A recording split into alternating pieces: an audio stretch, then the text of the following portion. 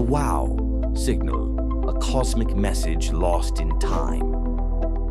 In 1977, a radio telescope in Ohio picked up something it had never heard before. A signal, a burst so strong, so unusual, it stunned the astronomer listening. He circled it on the data sheet and wrote one word in the margin. Wow. It lasted for 72 seconds, long enough to rule out interference. Too precise to be a star, too powerful to be a glitch. For decades, scientists tried to trace its source. Some blamed comets, others whispered it came from deep space intelligence. Here's the part no one talks about. The signal came from a quiet region of space where almost nothing happens. No planets, no stars, just silence.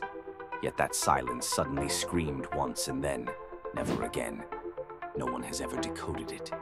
No one has ever explained it. The most powerful call from the cosmos may have been sent directly at us, and we still don't know who or what was trying to say hello.